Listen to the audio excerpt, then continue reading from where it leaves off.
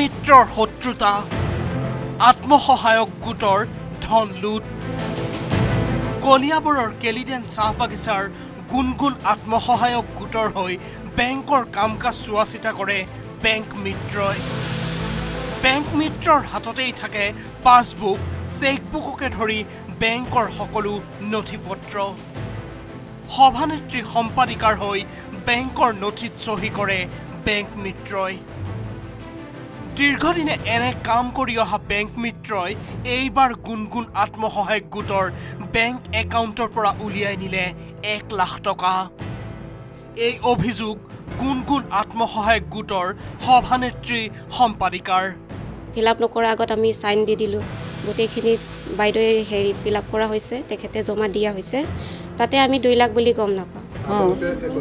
এক লাখ টকা লৈছে। কিচাৰ পৰা আমি এক লাখ টকা লৈছে। এক লাখ টকা লৈ আকৌ বাইদেউৰ ওচৰত আমি গৈ পেলাই হিচাপো কৰিছোঁ। দুই লাখ টকা সেই বাইদেৱে ক'ত পৰা লিখিছে আমি গম নাপাওঁ।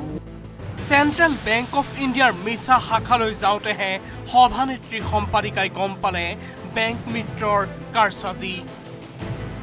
বিষয়াৰ সন্মুখত অভিযোগ অস্বীকাৰ কৰাৰ পাছতো বেংক মিত্ৰৰ কথাত পতিয়ন নগ'ল গুণগুণ আত্মসহায়ক গোটৰ সভানেত্ৰী সম্পাদিকা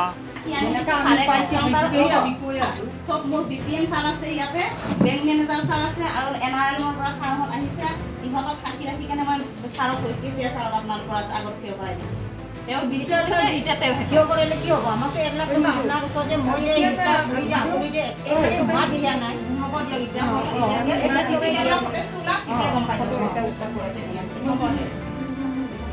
ইতিমধ্যে মিছা থানাত বেংক মিত্ৰৰ বিৰুদ্ধে অভিযোগ আনি গুণগুণ আত্মসহায়ক গোটৰ সভানেত্ৰী সম্পাদিকাই দাখিল কৰিছে এজাহাৰ।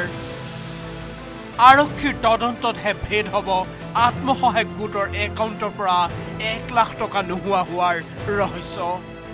কলিয়াবৰৰ পৰা দিবাকৰ দাসৰ report news eighteen Assam north east.